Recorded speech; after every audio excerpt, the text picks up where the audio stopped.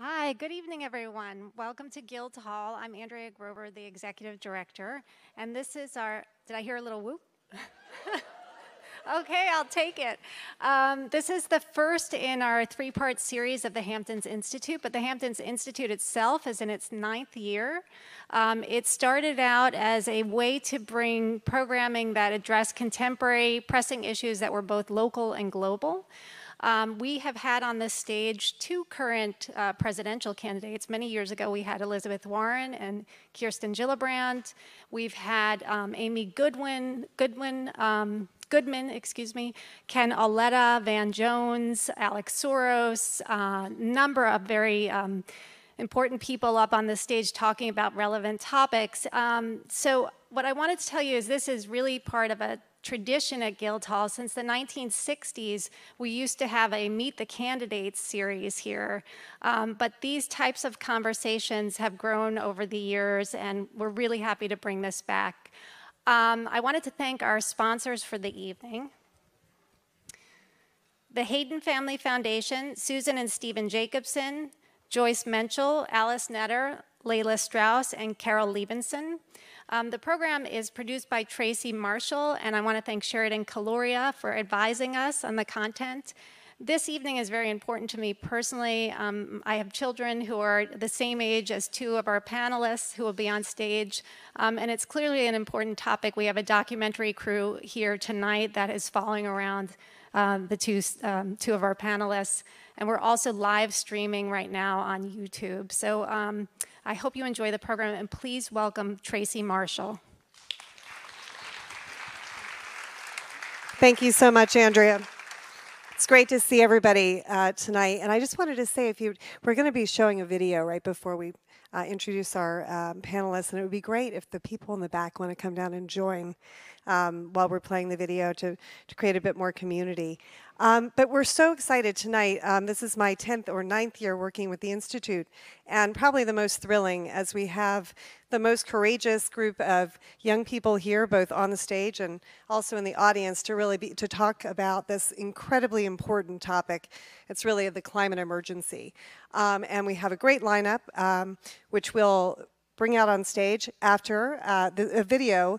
I'm sorry. Uh, uh, uh it's an audio release by Greta Thunberg that just came out last week called 1975.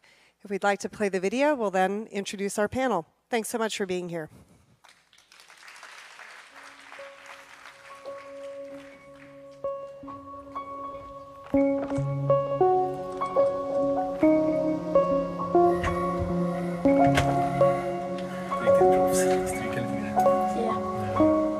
We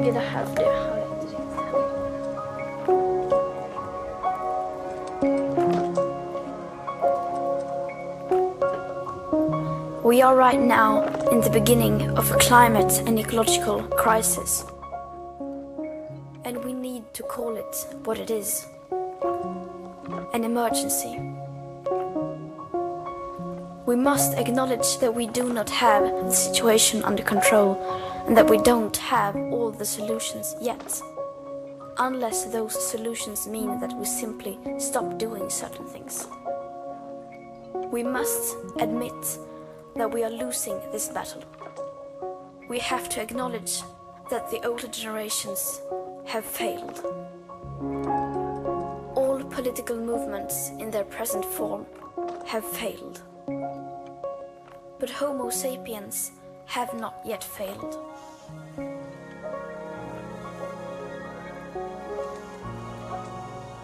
Yes, we are failing, but there is still time to turn everything around.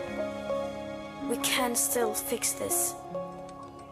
We still have everything in our own hands. But unless we recognize the overall failures of our current systems, we most probably don't stand a chance.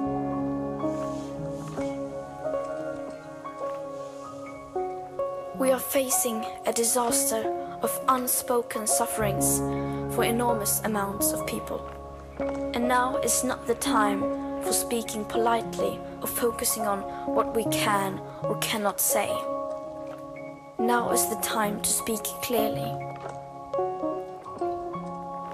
Solving the climate crisis is the greatest and most complex challenge that Homo sapiens have ever faced. The main solution, however, is so simple that even a small child can understand it. We have to stop our emissions of greenhouse gases. And either we do that or we don't. You say that nothing in life is black or white, but that is a lie. A very dangerous lie. Either we prevent a 1.5 degree of warming or we don't. Either we avoid setting off that irreversible chain reaction beyond human control or we don't. Either we choose to go on as our civilization or we don't. That is as black or white as it gets. Because there are no grey areas when it comes to survival.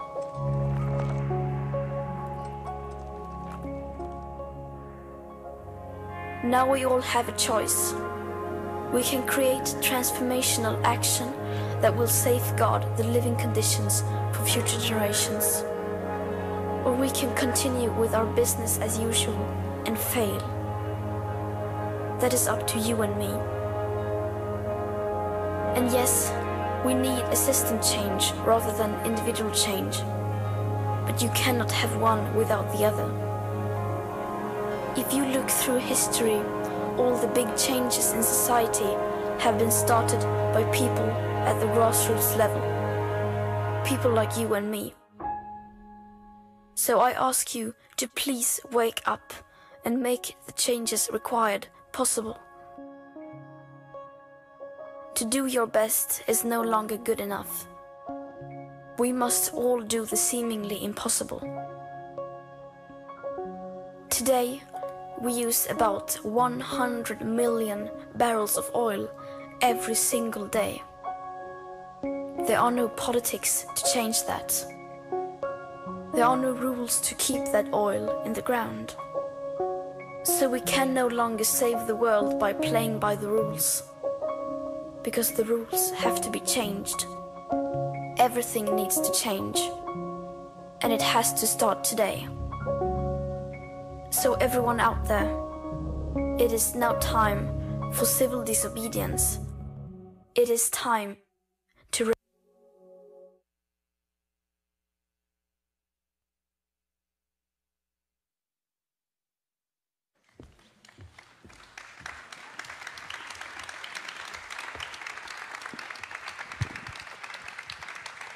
Good evening, everybody, and welcome. Uh, my name is Jessy Tolkien. Um, I'm incredibly proud to be here, first and foremost, as a youth climate activist that grew too old to be a youth climate activist. Um, I have spent the last 17 years of my career uh, helping to fight the climate fight around the globe.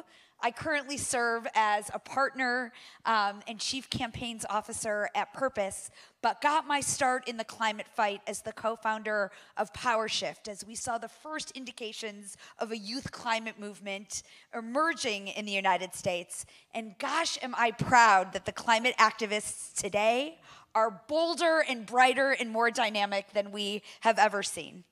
Uh, before I introduce my incredible guests, I'm just going to share a couple of names out loud Ezell Blair, Joseph McNeil, David Richmond, Franklin McCain. Do those names mean anything to anyone in the audience? Those were the names of the four individuals that sat in at a Woolworth counter and began and launched the civil rights movement and forever changed the United States of America. David Hogg and Emma Gonzalez. Two remarkable young people who couldn't be leading a more powerful fight in this country right now to end gun violence in America. I mention these names because in some of the greatest fights in the history of this country, it was young people out in front with their courage and conviction and moral clarity. And I have two equally incredible guests with me to start our conversation tonight. Immediately to my right is the amazing Alexandria Villaseñor. Um, yes, please give a huge round of applause. Alexandria is 14 years old and entering the eighth grade from New York City. So think about this when you think about what you were doing um, in eighth grade.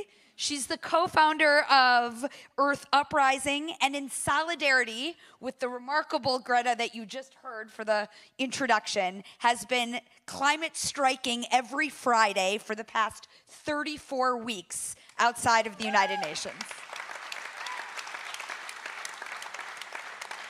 And to her right, an equally remarkable individual, somebody I'm quite in awe of, is Jerome Foster, a seven.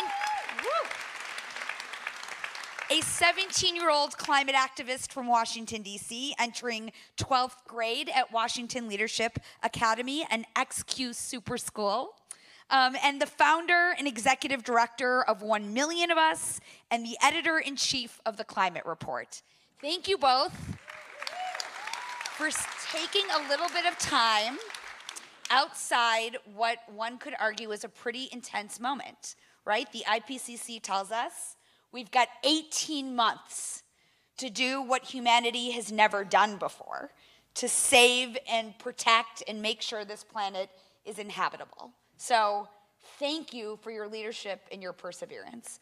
Um, Jerome, let's start with you. Tell us what got you on this journey what was it that kind of called you to action in this moment?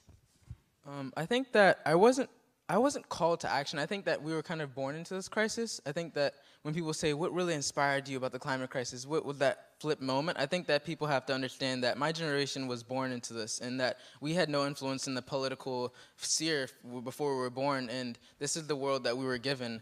And basically, our life is to not just I have a job and to say that this is a system we want to try to change it incrementally but us as young people want to make sure that our adulthood and that when we be, get, to get to be older in our lives that we want to be able to have a livable future clean air clean water and, and no pollution. And that requires urgent action. So when i was younger when i was five years old my parents taught me the, the the value of nature and we used to explore in the forest and like understand the connection between like community and where we came from and like the woods and things like that and exploring and as I got older, I learned about the climate crisis, and I was just wondering why people were just not talking about it. And it's such a huge crisis. And like when we talk about movies, when we say that, oh, the world's gonna, if, if a crisis ever comes, humanity would be in shock. They would spur to action. But what in reality, like outside of Hollywood does, what we do is just ignore it. And I think that it takes young people with our ability to say it like it is to be able to spur people to action. Incredible. So, Alexandria, you have spent the last 34 weeks um, doing your part, striking and protesting in front of the United Nations, um, and doing that in solidarity with others around the world.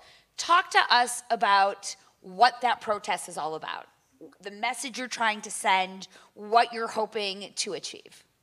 Yeah, so I strike every Friday in front of the United Nations headquarters in New York City. I've been on climate strike for 34 weeks now in solidarity with Greta Thunberg and the Fridays for Future movements.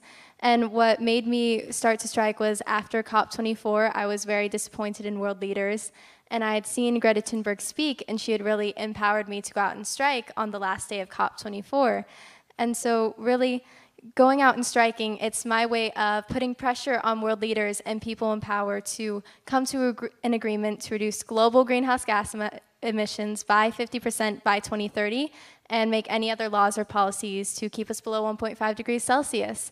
And so, really, why I chose the United Nations is because it's where all of the world leaders come together to make these big decisions. And so, that this is my message: is making them make bold action to save our futures. Thank you so much.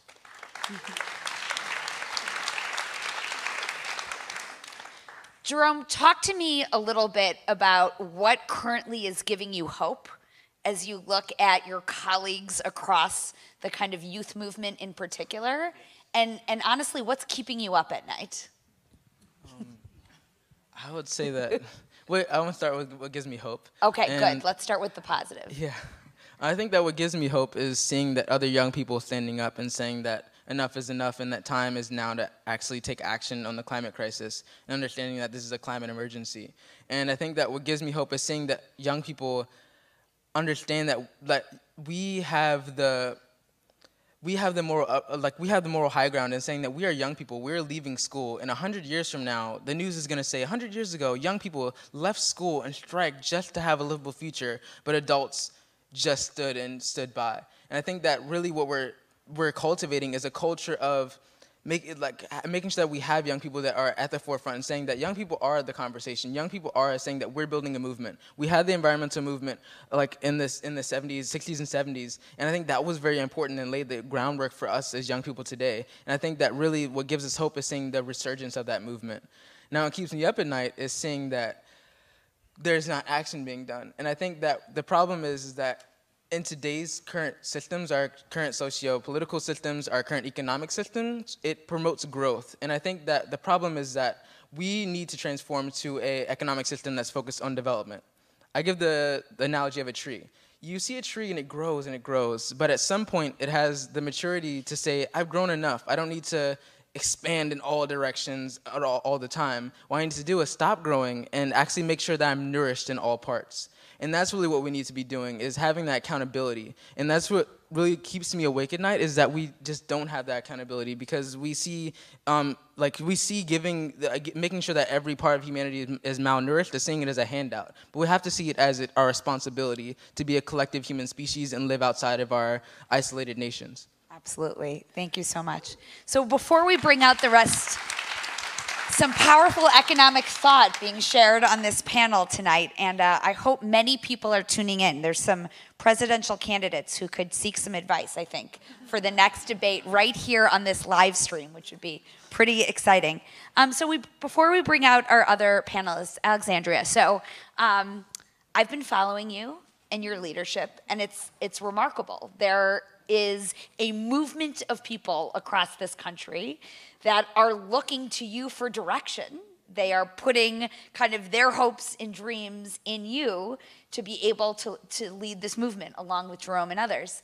And, and that's a lot of pressure, coupled with the fact that every single day we hear more and more intense news about the state of the climate. Um, talk to me about how you deal with that tremendous pressure in this moment um, and, and how you process that and, and use that to further kind of fuel your work. Um, I guess how I handle a lot of the pressure in climate activism is going out and taking direct action. So going out and striking, but doing it with fellow students, doing it with adult allies who are coming up and backing us up. When you're with a community of people, it feels like the movement is so much stronger and right now, when 97% of the population has never been to a protest before, then we need to get everyone out onto the streets and build a community where we are actually telling people that they need to change and they need to change their ways. And so, really, the sense of being with a bunch of other students and protesting together is really what helps with all of the pressure, is because I'm not alone in this. Incredible. Um, let's add to the conversation. Um, it is my pleasure to welcome Dr. Michael Mann and Gordian Raacke to the, to the stage.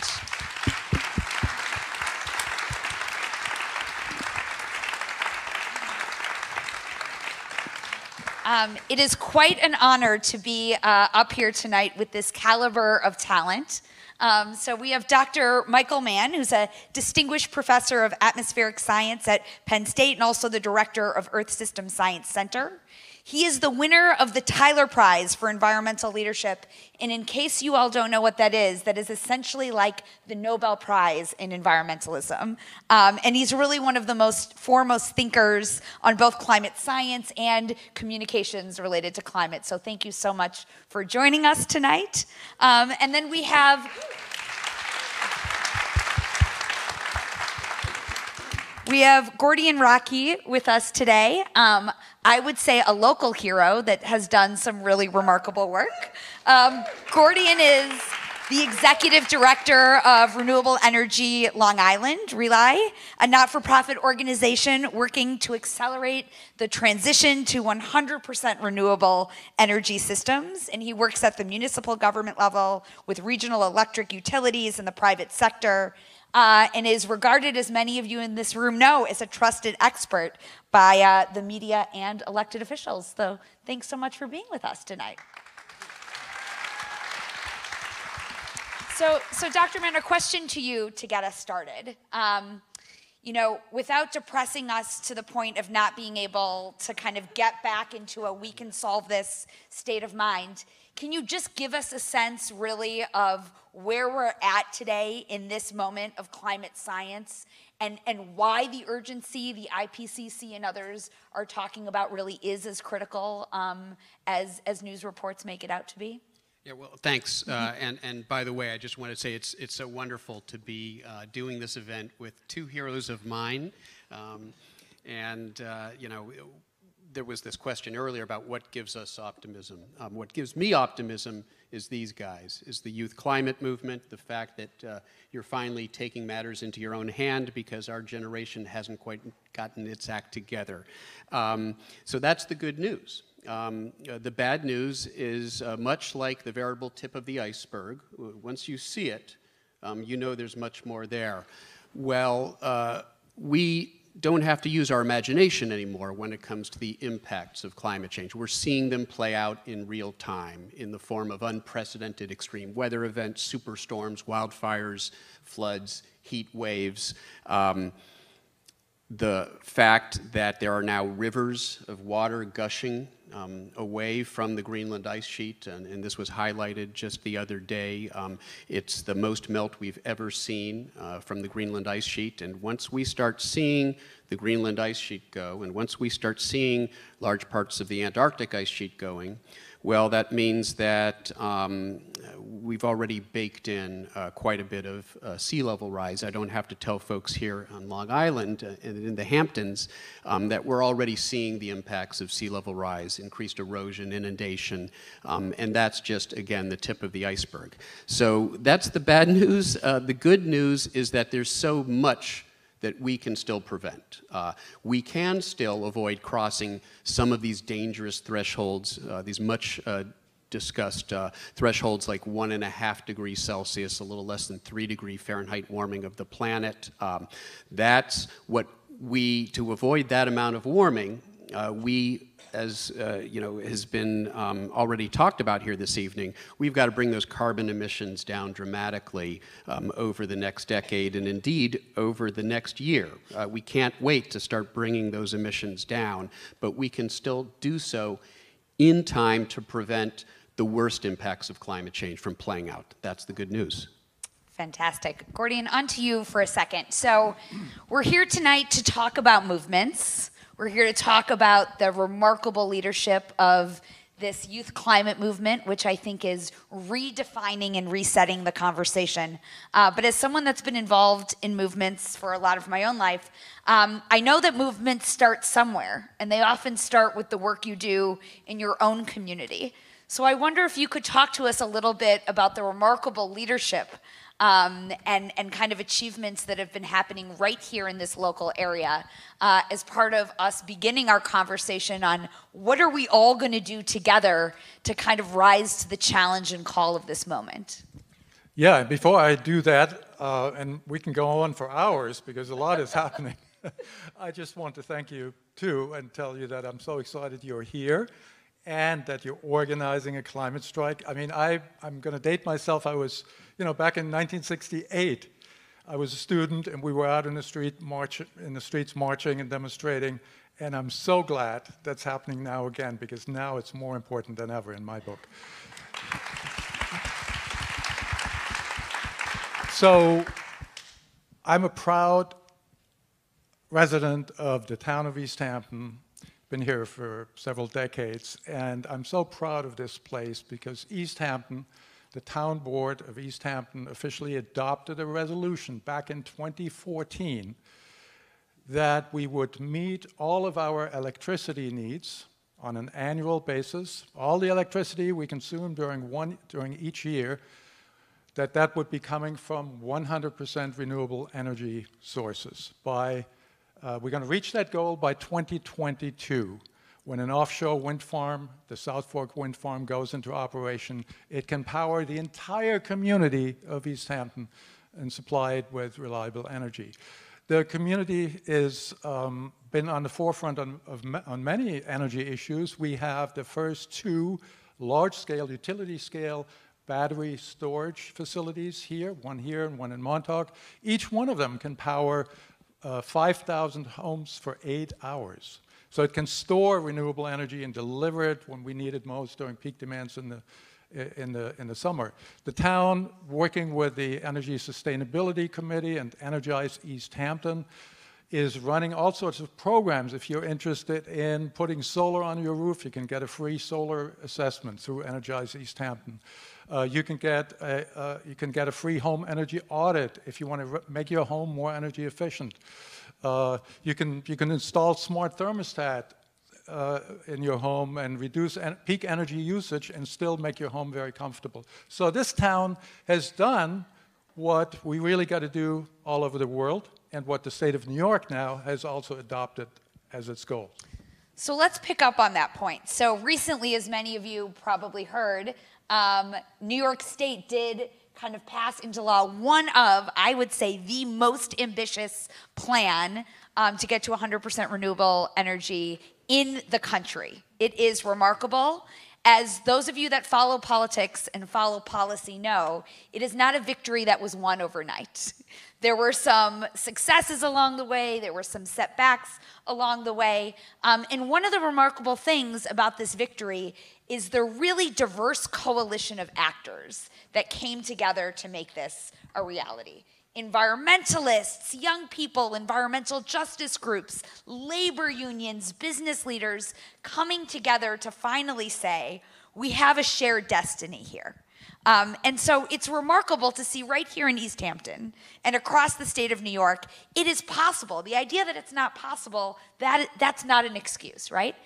But I want to hear first um, from, from Jerome and Alexandria and, and then from, um, from our other panelists as well what is happening here that we have obstacles? Who is standing in the way? Why are they standing in the way? And what is the plan to move them out of the way?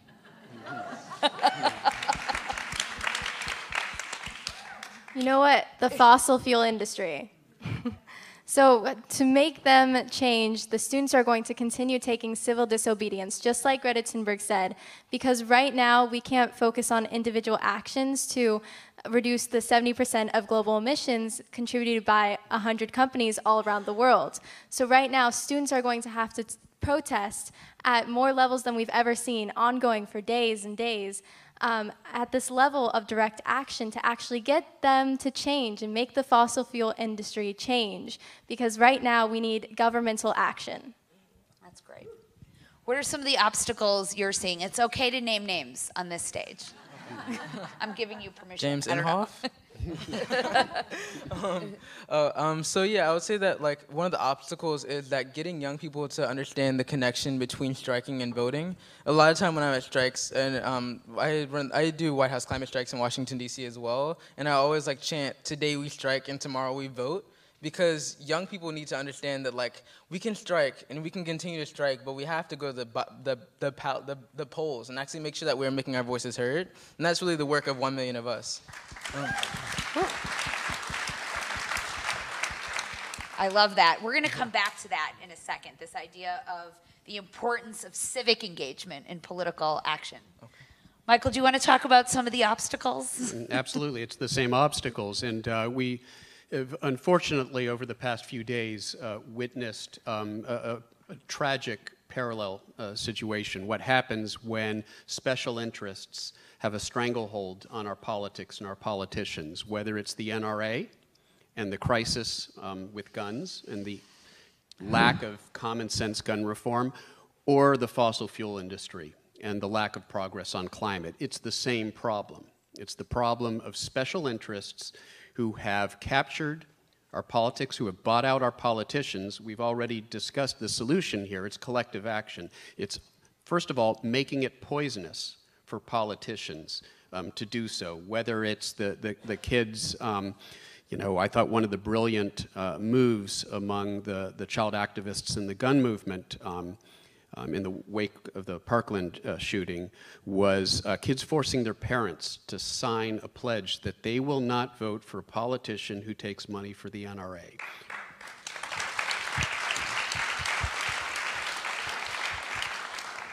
And we need to do the same thing with the fossil fuel industry. We need to take back our government. We need to seize control of our politics. And again, the thing that gives me uh, hope, inspiration, is the fact that these kids are doing it, um, both with uh, the NRA and the gun problem, and now uh, with the fossil fuel industry and the climate problem. So thank you to both of you for what you're doing.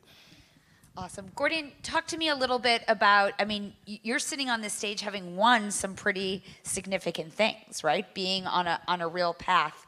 What obstacles came um, across your path to victory, and how were you able to get those obstacles out of the way? Well, you know, I started 26 years ago. and in the beginning, it felt like I'm just getting up in the morning and running my head against a brick wall or against an oil barrel. And um, that has changed. But what I still find quite an obstacle is that we all assume that what needs to be done is going to be done by somebody else. And we need to all, we need all hands on deck. We, you just heard that we have an emergency and that everything needs to change. And that means everybody needs to help and make that happen. So that obstacle we're still facing, but I'm encouraged by what I'm seeing here tonight. That's, that's absolutely fantastic. Um, okay, Take, we're just taking a deep breath here, right? Because there's, there's a lot for us to figure out. Uh, I want to come back to, I mean, it would be hard to ignore that uh, we might be currently in August of 2019, so we're more than a year away from a presidential election here in the United States. But if anybody is living and breathing, they know that there's a presidential election underway, right? Um, and so a lot of people right now are talking about who will win a primary race. But I think many of you on this panel would agree with me that probably one of the most important things that can happen in this election is the conversation we're going to have about climate change and the extent to which people are motivated to turn out. So, Jerome, talk to me a little bit about what that activity and process is going to look like to inspire what I might add is the largest voting bloc ever in American history um, to turn out and vote and to vote on climate change issues. Yeah, so going back to my like last answer about one million of us, what one million of us, uh, the organization I started a little over a month ago, is doing is trying to get young people to vote. And like what we're doing is like taking it from the top down and from the bottom up. Is like getting politicians like that are talking about climate change right now to actually talk about climate change on a regular basis, and not just to say that democratic people that are like seen as like the progressive and like really audacious like type of like politicians and trying to get it to seem bipartisan and making sure that we don't continue to politicize climate change but depoliticize it and make it so that's post um, partisan and making sure that it's nonpartisan as well. And that's really what we're trying to get young people to understand is that we want them to understand that climate change is beyond like just saying that we're going to strike just beyond saying that we're going to go to the polls. It's a movement saying that we have the power to change political systems. And I think that the conversation around climate is definitely going to change because we're seeing a fundamental shift in people's understanding around the climate crisis and saying that we can't just change a light bulb and say, I fixed the climate crisis. But we haven't. What we have to do is actually change the systems that started that, that crisis and have instituted that to grow and to continue to fester into our society and our economic system and our political system. And I think that what we have to do is like take back our political system because there are three pillars of power in the world. There's economics, there's politics, and there's people. What one million of us is doing is using the power of the people to change politics and making sure that politics is actually for the people. So that's really what the work we need to do. Give a round of applause for that. Uh, Dr. Mann or Michael, I'm not sure which we should be calling you tonight. Both of them. Here, okay, so, so Mike, um, talk to me a little, or talk to us a little bit about this connection between individual action and collective action. Um, we know that there's a whole lot of interests out there um, namely probably fossil fuel companies, who would like us all to believe it's in our hands to take a set of individual actions to solve the climate crisis because that absolves them of any responsibility. We're all much smarter than that. Except individual action is a part of this equation. So I'd love to hear from you first and then from Gordian to kind of talk about both your own journeys as it relates to this issue, but how these two components can really be complementary. Yeah, thanks for the question. Um, uh, a couple months ago, a colleague of mine and I actually wrote an op-ed about this very matter um, in, the, in USA Today, and it was um, based on the uh, Crying Indian commercial. How many people in this audience grew up watching that commercial? And how many people were profoundly impacted by that commercial? It was one of the most impactful uh, advertisements, public service announcements of all time. Uh, back in the early 1970s, uh, I think it was 1971, it actually aired on the second Earth Day. Uh, and it was all about individual action, the fact that uh, the littering uh, of our countryside, the pollution of our land um, was due to us, was due to us throwing cans and bottles. Um, well, and that's important, and we should all be better stewards, and that was a good message. But the environmental organizations that had initially signed up actually ended up pulling out of that PSA um, within a matter of months because they realized they'd been had. This was actually propaganda from the soda industry, from the beverage industry, and it was intended to defeat the bottle bills that were popping up all over the country, which was the true solution to this problem, which was a systemic solution to the growing plastic pollution that was littering our countryside and now found at the bottom of our oceans. If you've been that, what are the two great crises of our age? Um, the climate crisis, environmental crises, uh, the climate crisis, and the plastic crisis. And in fact, it's the same story. They were uh, able to thwart um, legislation that would have solved this problem at its source. Here, uh, I actually see quite a bit of evidence now that the fossil fuel industry is trying to do the same thing. Um, it's what we call a deflection campaign. And we hear a lot about our dietary choices and, and, and, and not flying, and all these, these are good. We should do everything we can to decrease our own individual environmental footprint and, and carbon footprint. But the fact is, individual action alone isn't going to get us these monumental reductions we need to see. We need collective action. And part of collective action, as you allude to, is individuals banding together, uh, campaigning, lobbying, getting out in the streets, um, making sure that there is awareness among the public and among policymakers. Um, individual action is an important part of collective action. What is a collective? But a bunch of individuals. Um, but ultimately, we need to force the hands of our politicians. We need to vote have them vote in our interests rather than doing the bidding of the special interests who would happily see no progress on this issue. Fantastic. Yeah, I, I very much agree with that. I also can, from my own experience, um, I, I wasn't always an advocate for renewable energy. And I remember vividly, I think it was in 1986 when we first came out here, uh, I, felt, I felt fed up with politics and politicians. I felt powerless, disenfranchised. I felt like there's really nothing I as an individual can do.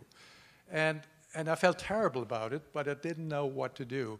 And one day I was washing the dishes and turning the tap on and off, and I realized that I'm turning on the well pump in the basement. And I think this was the first Iraq, Iraq, war or whatever, one of those wars where we were having tanks in the desert and seeing oil fields burning. And somehow, I, at that very moment, I connected the dots from turning something off to a power plant that would now have to run less and to a tank that would have to not protect an oil well in the, in the Saudi desert or someplace. And that suddenly made me feel I have that power. I can turn that switch on, and something halfway around the world is going to change. And it's a tiny little change. But if every one of us can do that, we can make bigger changes. But more importantly, it made me empowered or feel empowered again and I decided I want to work in this field, and I got a job, and here we are. Right? So it is a doorway or a pathway. Individual action makes you take the next step, and that may be a very small step, and then the next step, and the next step, and before you know it, you're protesting in front of the UN, and you're sitting here at Guildhall in East End. Absolutely. Can I also add on to that? Yes, go ahead. I think that like when we talk about individual action and the relationship it has to like systemic systematic action is that we should see personal action as like the baseline. We should see it as like what you're doing with like changing your light bulbs, changing your dietary plan should be required as like our society is like seen as like oh you're doing that we should all be doing that and now the next step is to be a systematic movement to make sure that we are equitable for all people. It's I not either that. or. It's I both. love that. Yep. So I have, I have a question for you, uh, Alexandria, but I, I just I want to take a step back. So the the terminology emergency has been used. Greta's using climate emergency. The term climate emergency is appearing on headlines across the world. I, I work globally, so I'm fighting climate change in India, where on my last visit, temperatures exceeded 120 degrees Fahrenheit and there is an air quality crisis because of the amount of coal that is being burned. I work in Brazil, where there is currently a leader in power that is turning back all regulations related to the critical Amazon forest that we need as part of climate solutions, right? Um, so we're having an emergency. We've experienced those heat waves here in the United States, in Europe, um, and emergencies require a different type of response than when it's the status quo. Requires escalation, right? And your striking is part of that escalation. Um, talk to me a little bit without revealing any secrets that you shouldn't be sharing with this audience. What does the conversation about further escalation look like? Where are your fellow strikers and your fellow youth mo- climate movement members talking about willing to go um, in terms of their action in this moment? Um, right now, for a lot of students looking at escalated action, we're taking inspiration from past movements like the civil rights movement, and we're willing, willing to go the extreme. So, doing direct actions, of course, nonviolent direct actions, and making sure all of the students are still safe, but sending the message. So, doing strikes, making sure from striking, putting pressure on those in power, and then as well as doing protests, staying in one place till the people you are protesting meet your demands. And so we are going to start to see this kind of action as the climate crisis gets more urgent, and it already is urgent. And so this type of action is needed to get change. It's the time for civil disobedience.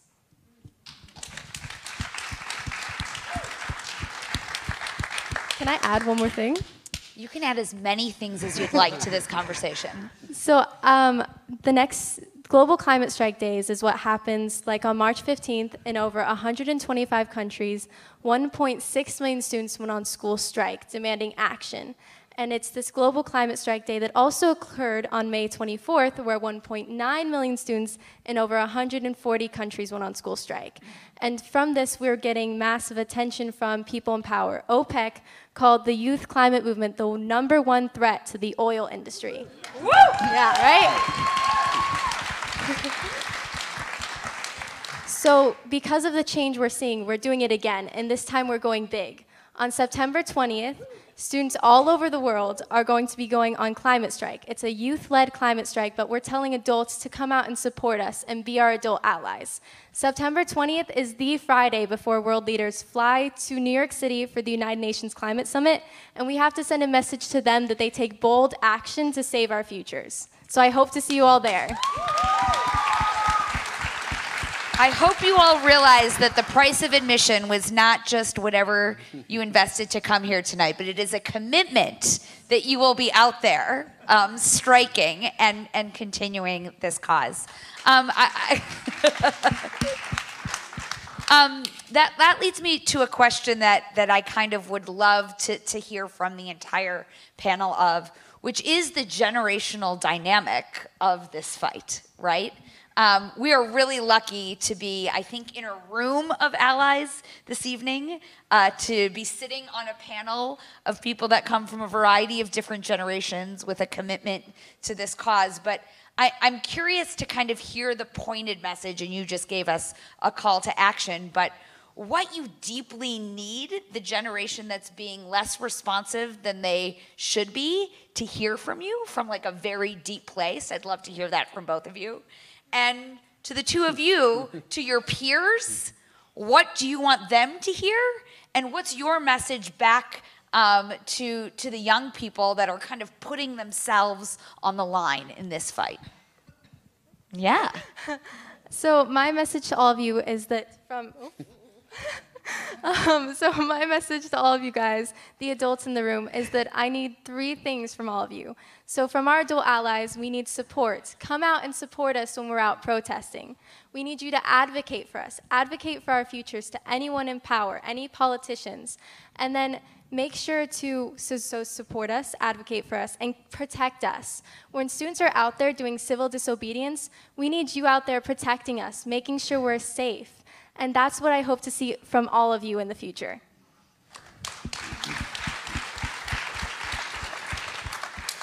Um, what I would like want this audience to understand and like to take away from this and to act on is that I want everyone to ignore the norms that we've believed for our entire lives and understand like how what is politically safe and what is what is normal in our society and think outside of the box and think about how we can actually change the system to actually work for young people. And I think that what young people need from you all is to be able to have that space to do that. And I think that we need to we need older generations to advise us and not to say that oh we we are gonna be the leaders of change we're gonna we're gonna say this all by ourselves but we need you and we need you to call your member of Congress. We need you to go out and actually meet with these representatives and say I'm your constituent.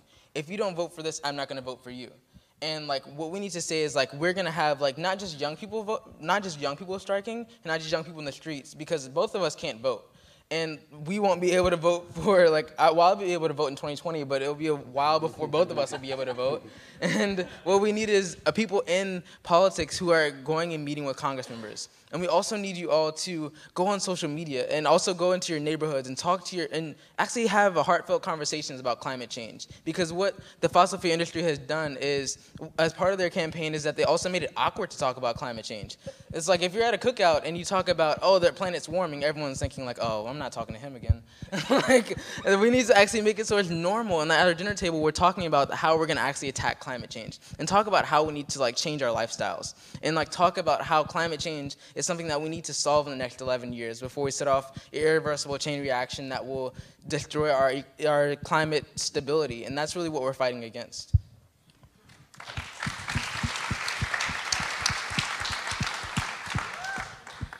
So what these guys haven't told you, they were actually helping me refine my Instagram uh, approach uh, technique uh, earlier, just before we came out here. Um, but we, you know, it's wonderful what Alexandria and Jerome are, and, and, all these other kids are doing. It's a game changer. It's the reason that I'm optimistic we're finally going to win this battle.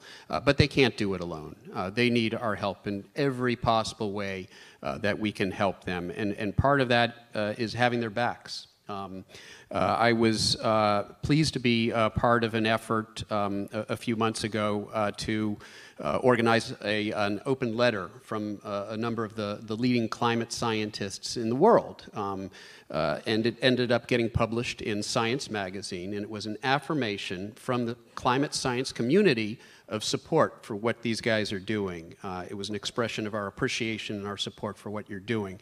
Um, understand that the uh, Eye of Sauron, uh, its gaze has turned to these kids now. And if you've been watching what's happened over just the last few days, there's been a coordinated effort uh, by sort of the right wing noise machine, the Murdoch media empire. There was an op ed in the New York Times attacking Greta Thunberg. Um, I don't remember the New York Times publishing an op ed by Greta Thunberg, but they did just publish an op ed attacking her. Um, and it was a scurrilous and really uh, uh, um, reprehensible uh, attack that had no place on the uh, on the editorial pages of the New York Times. Uh, meanwhile, the Murdoch press has been attacking these kids. Uh, there was an effort to publish uh, stolen emails from the Sunrise Movement on one of the right wing climate change denial blogs. This has all happened over the last few days, and as you quoted OPEC, um, they recognize. Um, the, the, the fossil fuel industry now recognizes that the greatest threat it faces is these kids. Um, and that's amazing, um, and we owe so much thanks to them for that, but we can't leave them on their own. We've got to have their backs. We've got to do everything we can to support them.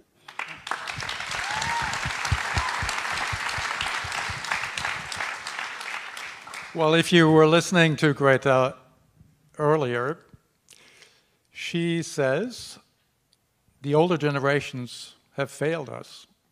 And from what I can see, there's me and Michael um, and a few other people in this room that could be included in that. And that means we have a responsibility that we now have to step up to. And uh, she also says, and this is very important, it is not too late. We do have a window now, a small window. We've waited far too long to take action. We could have acted decades ago, and we didn't. And we didn't act, when we did act, we didn't act commensurate in scale to the problem, and we didn't act quickly. So now we have an emergency because it's the last minute in history when, when we can make that difference. And as I said before, that means all of us now got to step up to the plate, particularly the older generations that have the wherewithal to do this. And particularly in this country, in the United States of America, where we have everything we need to make this transition happen. We've got the financial power, we've got the willpower, we've got the, we've got the know-how, the engineering, we've got everything we need, and yet we haven't done it yet. And we should be a leader because historically, when you look at carbon emissions, greenhouse gas emissions over time, this country has emitted the greatest amount of all countries in the world. So we, the older generation and the United States of America bear the greatest responsibility to solve this problem within the next 10 or 15 or 20 years. Otherwise, it's too late. Absolutely. Well, I'll quickly weigh in on this question because um, I guess generationally I fit somewhere in the middle. I often call myself the world's oldest millennial. Um, they say millennials began in like 1980, 81, so I'm the world's oldest millennial. Um, but I guess my message across the board, my message to the remarkable young leaders that are on the forefront in the beating heart and conscience of this movement is stay fiercer. Do not let anyone stand in your way. Do not any, let anyone tell you don't have all of the intellect and intelligence and strategy because you are right on the mark and your instinct is telling you exactly where you need to go. Um, and to my own generation, it's remember what it was like when you started this fight and don't ever lose that fight. And to my parents' generation and my grandparents' generation, you haven't lost the moment to be part of this greatest moment potentially ever in human history. And uh, just a couple weeks ago, we celebrated the 50th anniversary of the landing on the moon. And I was sitting next to my dad as that 50th anniversary was being celebrated, and he was recalling what it was like to watch that on television as a teenager. And he was reflecting on how it really felt like, regardless of who you were in America, there was this moment of remarkable pride that we set this remarkable challenge to get to the moon and we got there. And it wasn't didn't matter what political party you were from or your socioeconomic background, there was just this moment of pride and accomplishment. And I just have this vision that across generations, in a matter of years, we as Americans could stand together around the pride of tackling this problem. So that's my, my message across the generations. I just want to add a, a quick note. Um, we celebrated another 50th anniversary this summer, um, back in June. Does anybody know what it, it was? Well, um, it came uh, close. Um, it was the uh, Cuyahoga River catching on fire.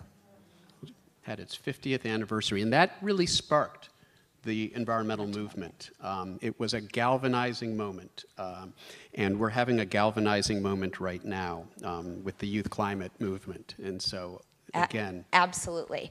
So, if you haven't caught the message yet, Uh, we shared a lot of information tonight. We shared some of the struggles, we shared some of the accomplishments, the success story of East Hampton and the state of New York, something all of you in this room can be really proud of. Um, but it's going to require a lot more action. So we we need a call to action. We need many calls to action. And I, uh, for the for the kind of closing portion of this evening, I'm going to turn things over to Jerome who is going to engage the audience in a bit of conversation on what some of that action can look like. Um, yeah, so you just like, um, okay, yeah. Yeah, so, so we're going to take questions and comments from the audience. We seem to have a multi generational audience, but we would really love to hear maybe first for some young people in the room to talk about the work they are doing, questions they have, support they might need from all of you. But we are not discriminating because we need the help and involvement of everybody. So we'll open that question to the entire audience. Definitely, yes. And I, I Jerome and, and Alexandria are going to field some of these questions. um, I saw your hand shoot up. yes, yes. It, my name is Juliette Holmes. I'm a senior at Northfield Mount Hermon in Northfield, Massachusetts. I mean, not a senior, I'm a junior, if I, if I know how old I am. Um, so I heard Mr. Mann talk about this earlier, but there wasn't much of a discussion about it at all tonight, about the amount of pollution that's coming from trash and landfill and amount of stuff that's going into the ocean. And I know that while you said it's a big success in the Hamptons, we still only have one recycling bin on a beach in all of the Hamptons and none in the town. And I was at the dump on Friday talking to them there. They had a composting center that, shut down 20 years ago, and they're running eight people fewer. So I wanted to talk to you a little bit about what you guys are doing on your day to day life to reduce your waste, and what are your thoughts on how that's been going? Um, I also like personally with the waste that I do, like I try to uh, reduce my waste in all ways, like in travel and the way I eat and the way that I act. I think like I came here on like two ferries and a boat and didn't want to take a plane because it's just unethical at this point to take a plane. And also like um, I'm vegan, I stop shop, and I do a lot of other like restrictions. Yeah. Oh, stop shop is like when you stop shopping for clothing and just like you use the clothes that you already have and like just unnecessarily buy more clothes. yeah, and others can feel free to weigh in here as well. Yeah. You know, one one thing we do is we buy local produce, and in fact, uh, we are members of one of several community-supported agriculture projects we have around town. And so we dig out our potatoes and we pick our leeks and we put it in bags that we bring. And there's no packaging, no transportation. You get the best and the most fresh food you can possibly ever imagine. And it doesn't have to go to the landfill. We compost that at home. So join a CSA or buy your stuff locally at a farm stand. I forgot the young lady's name. Uh, I, I, went to school in Amherst, Massachusetts, just down the uh, down uh, 91. Uh, so, um, in fact, we used to face Northfield Mount Hermon, our, our school, in cross country uh, matches.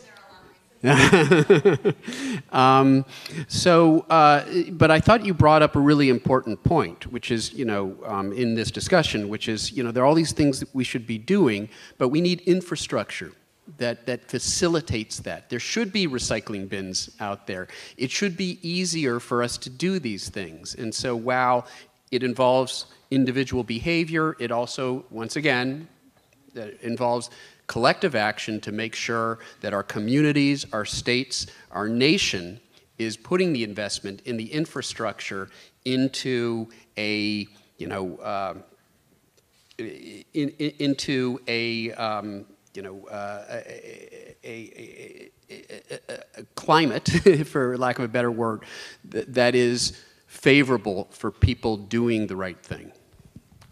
Great. I think you get to point to who's going to get okay. called on next. Yeah, I'm so giving you. I'm giving that, you that responsibility. Um, you're in the white shirt. Yes. Yes. Hi. Um, I understand that it's an emergency, and I understand the time has come for direct action and for civil disobedience. But what I don't understand is specifically what is it that we're demanding from the fossil fuel industry? Could somebody explain to me specifically what is it that we want them to do? We want them to go extinct. We need to keep it all in the ground. This is a huge thing. It's a very, we don't have to, I mean, we have brilliant scientists on the panel, scientists on the panel right now, but here's a very simple way that I think is helpful to explain it. The fossil fuels, if we have any chance I mean, any chance to hit the targets, we cannot take the fossil fuels out of the ground. That means no pipelines. That means no more drilling for oil. And here's, here's a little secret, which is basically the fossil fuel companies are energy companies, right? They're also producing renewable energy. We need them to get out of the fossil fuel business immediately and get into the renewable energy business. And part of what we can do to force that is we have to be involved in removing the social license for oil companies to do what they're doing. And we've seen this story in America before. Remember, there would have been a time where nobody would have thought you could have taken down big tobacco, right? Big tobacco was everything. And in fact, we slowly took away the social license from big tobacco being able to act. So what we need the fossil we, we there's a whole set of policies that will force the fossil fuel industry to keep the fossil fuels in the ground. We need to elect politicians that are supporting that. Yeah, I think also to your question, I think you're also thinking in terms of like what we'll do right now. Yes, yeah, so what we'd be asking for is for them to, we want, first we want politicians to sign the no fossil fuel money pledge so that they're, they're not like infesting our political system, but we also want for, um, for fossil fuel industries to actually make sure that we're phasing it out as quickly as possible. And that when we can't allow them to continue to operate at the scale they're operating on. So whenever we divest from fossil fuels and continue to unsubsidize those industries, we want to in, in invest those same amount of money that we're taking out of the fossil fuels into renewable energy. And that's really what the shift is now. We understand that we can't stop all fossil fuel production right now, but what we're saying is that we're going to have a phase out plan and that we're going to phase it out as quickly as possible and not phase it out over 30 years or 50 years, but phase it out in a timely fashion. And that's really what the, the plan is. That's in the Green New Deal. um, I saw your hand in the back. Hi, my name is Taylor. Um, just a quick thing. I did my thesis at the New School on a way to produce hydrogen fuel that's cheaper than gasoline. So we can do this. It's just about putting the power in the right hands. And the people on the stage right now are those right hands, so please support them. I'm also a student at Manhattanville. How do we help you as college students aged 18 to 24? We have time, we have resources, we have skills. How do we help the two of you do what you need to do? We just need more volunteers in the youth climate movement, more students involved. So, really, college students are still youth. You still have a voice to be part of this youth led movement and making sure you come out to all of our protests. It, there's a lot of way, too, after organizing all of these climate strikes, that there's a lot of students who don't know the climate science. And so that's what my organization, Earth Uprising, focuses on is getting climate education into schools peer to peer, and through that being able to mobilize students to get more involved in these direct actions. So helping us in this fight, um, you can go to earthuprising.org to get involved with just educating peers and then taking that leap of advocacy that we need.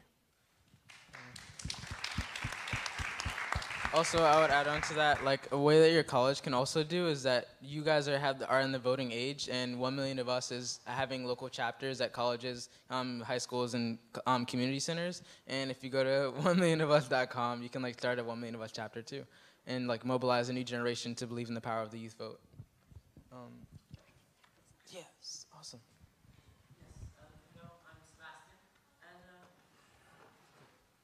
And um, I was just wondering, what do your uh, schoolmates, that does not apply to you, by the way, um, think about your work? Because I have a, a hard time mobili mobilizing my, um, my friends at school.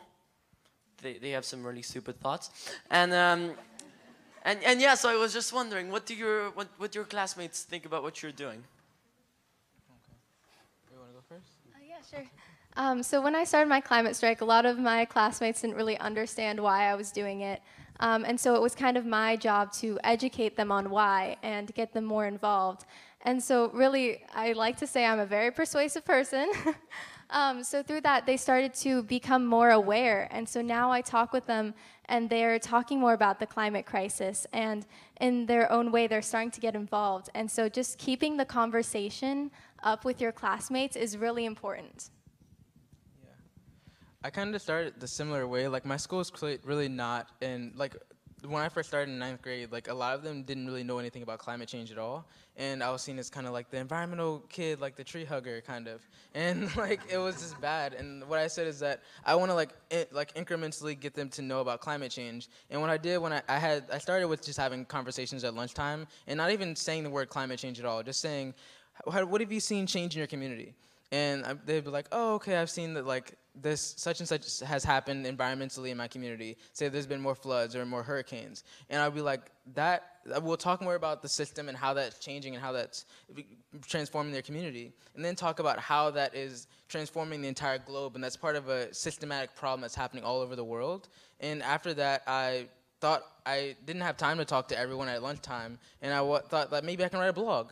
So I started like a local blog at my school for about a year. I wrote like a bunch of articles about it, like once every week, um, about two times, two times a week. And I like talked about climate change, and like some people would read it, some people just didn't want to pick it up at all. And eventually, everyone at least picked it up once and read it and said like, "Oh, this is something that's happening. This is a crisis. I'm learning more about it." And it wouldn't have fluff and it wouldn't have opinion, but it would just be science, and it would be united behind the science and based off of science and like after that i started doing school strikes and at that time they had already been exposed to like a year of blogging about climate change and they understood the, the, the scope of the problem and then they wanted to join the climate crisis and be a part of that movement. Um, i'd say yeah um, you have a question? Yeah. Sorry i'm choosing people that are far away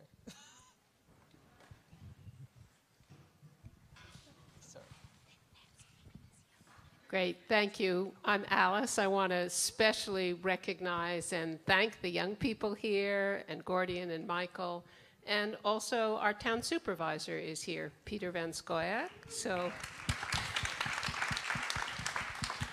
this town um, has done some extraordinary things to take leadership, and they're facing some important decisions right now. So one thing that's very important is to get the energy companies to realize they're energy companies, not fossil fuel companies, and make this great transition to renewable energy. But right here in our town, there are some very important things that we can do and that the town can do. And one is to help on the renewable energy side, to move quickly and to support our town's support of the ability of the local uh, proposed South Fork Wind Farm to land their cable uh, here in the most efficient place right in our town and to take advantage of the Energize uh, East Hampton program that uh, Gordian mentioned.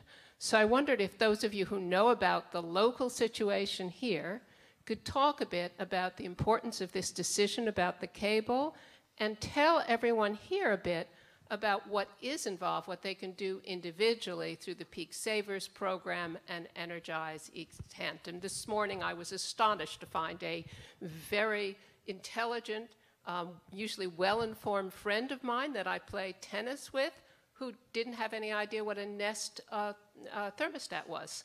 So I think it might help a lot of people in the audience to give them some very practical information about it.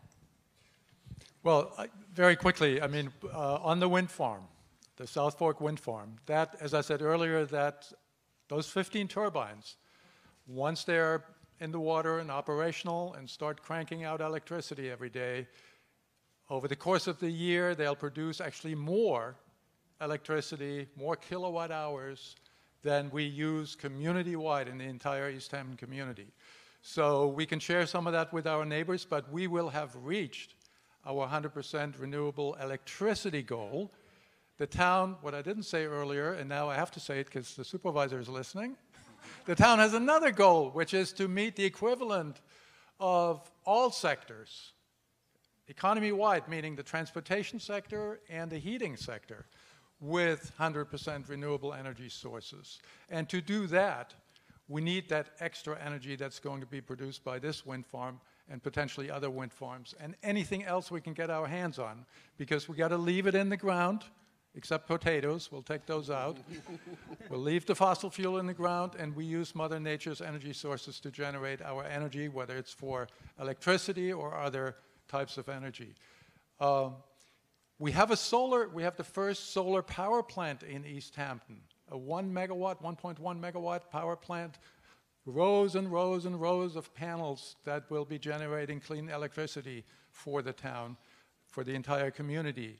But we did an analysis and found that with solar alone, we cannot, we cannot meet our 100% goals because of all sorts of constraints, lots of trees, lots of shading, other land constraints, etc. So without offshore wind in East Hampton, we cannot, cannot make the transition to clean 100% renewable energy. What can you do as a homeowner? Very quickly again, Energize East Hampton is an umbrella of programs. We make it easy for you. We have a website, a form. You can just check the boxes and say, I want an energy audit, a free home energy audit for my home. I want to find out if I can put solar panels on my roof. I'd like to get those smart thermostats that I can control from my smartphone, and it will also help bring peak demand down in the summer when everybody turns their ACs on, and on and on. So we've made it easy for you, but if you don't go there and request those things, then it's not going to work. Then we need more conventional power, and we don't want that, right?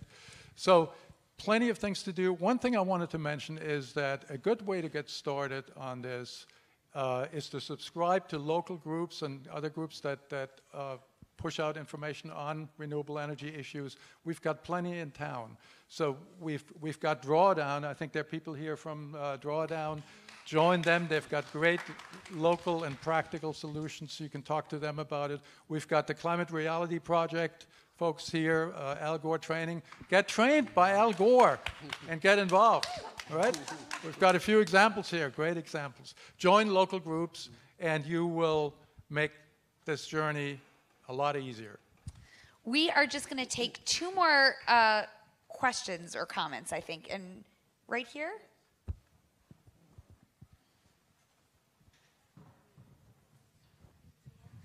Uh, my name is Fairly Stewart, and I have a comment. Um, so, when I was younger, my school did like farming things because our school was across from a farm.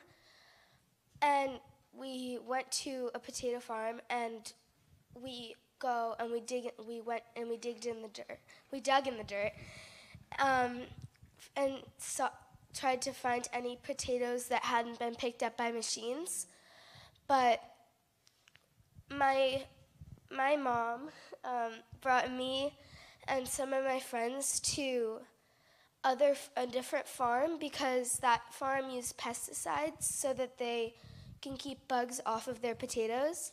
And my mom brought me to and my some of my friends to a all natural farm where they don't use any pesticides. So it was completely safe and we had a great time and it was really fun to like make sure there were no pesticides and that we weren't getting um, like sick or anything. That's awesome.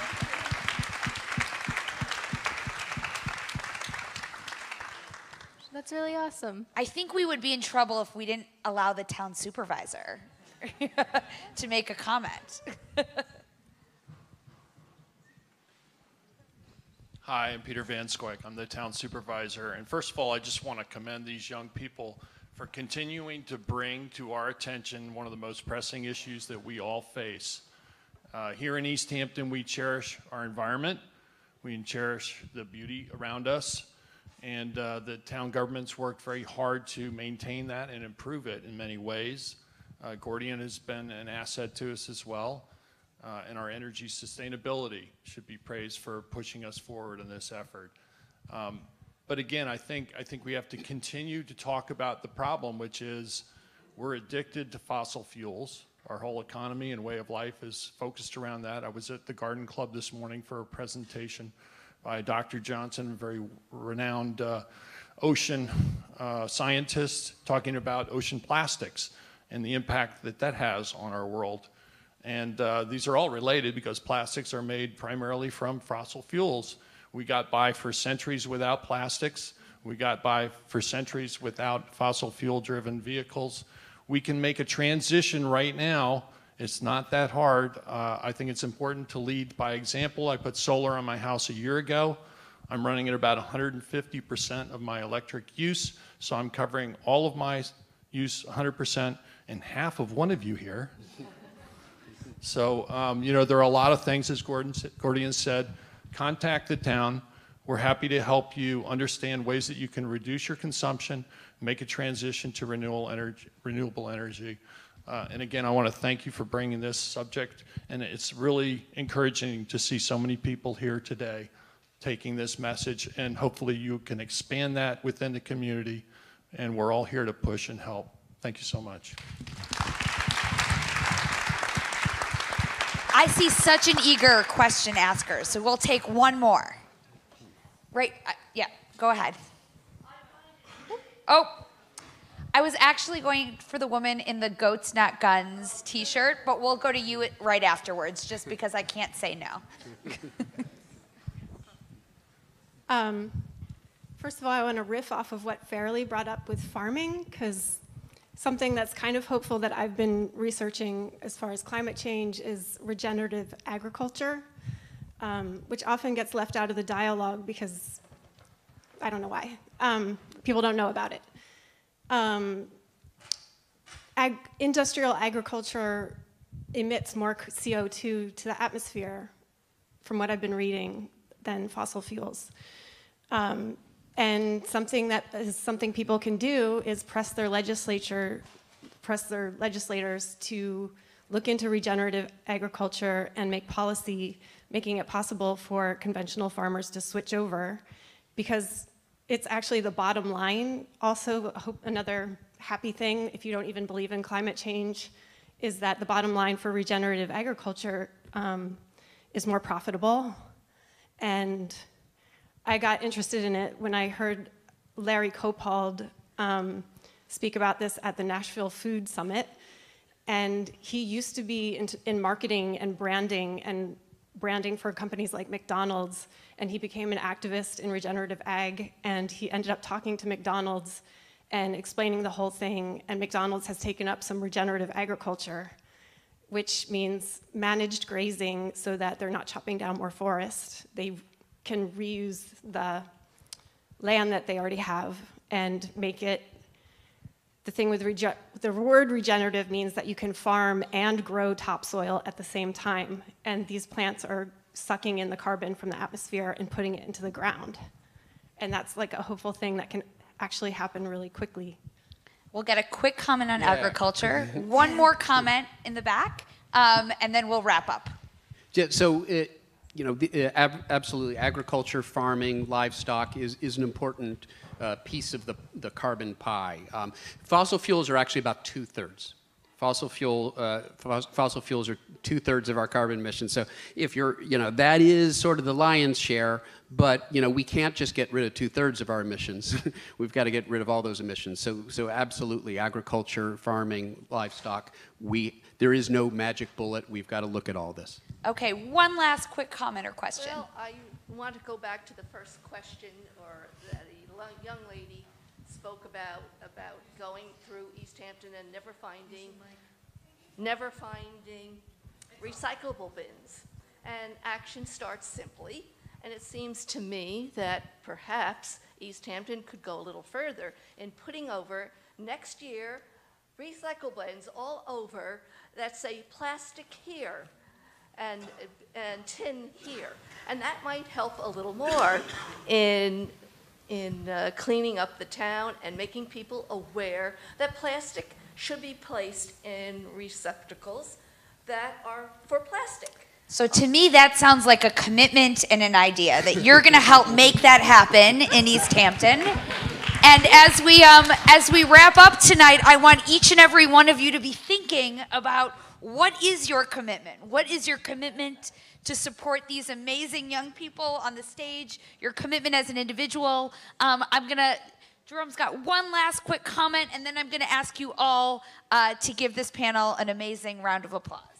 Yeah, so I'd like to say as a closing remark is that people around the world look to communities like this and communities that are flourishing and that are, uh, that are ambitious in their climate policy, and you guys are the leaders for many other communities. When you guys push the, push the boundaries and push the envelopes, it influences other communities around the world. And communities look to you all at, in the Hamptons and say, if they can do it, we can do it. And that should really energize all of you in the audience to say that we need to push the boundaries because we don't just change what's happening in our community, but what we do in our community can change the world. And that's really the, the thought process I want to end with. Thank you to all of our panelists. Thank you so much.